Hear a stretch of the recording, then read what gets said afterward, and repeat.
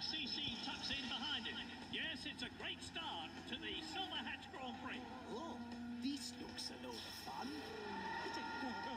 Loda, you can't.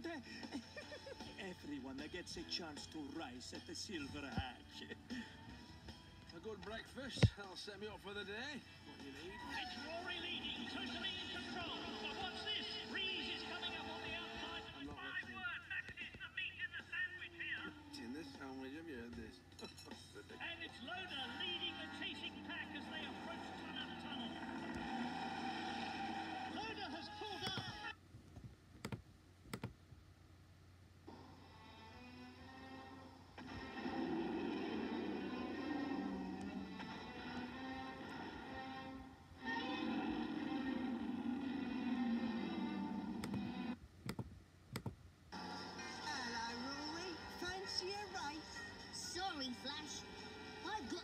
drive really carefully.